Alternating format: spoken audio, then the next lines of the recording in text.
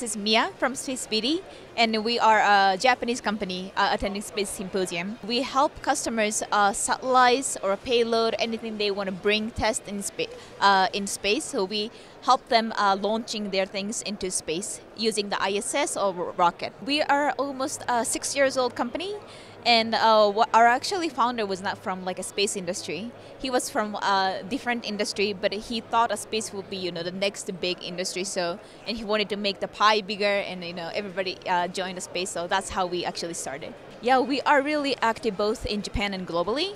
So of course you know a lot of customers from japan uh, but at the same time our uh, partners uh, and also like um, uh, we market in globally uh, to uh, bring more customers and partners uh, to us. Uh, this is our second, uh, my second time as a company, third time, and it's great. You know, it's the same location. It looks like you know the same thing everywhere here, but you can see that the space industry is changing and you know, evolving, and you see the difference. you know, when you come here like every time. So it's really great.